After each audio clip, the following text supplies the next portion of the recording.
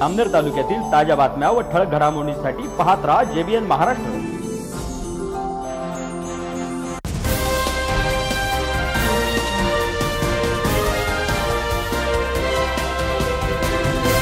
नमस्कार मी मिनल चौधरी. पाहूया काही ठळक वृत्त.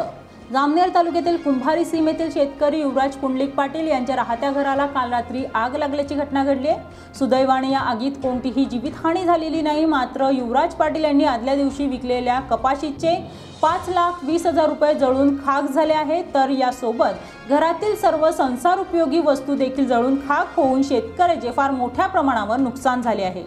त्यामुळे यात झालेल्या नुकसानीची नुकसान भरपाई शासनाकडून मिळावी अशी मागणी शेतकरी करत आहे.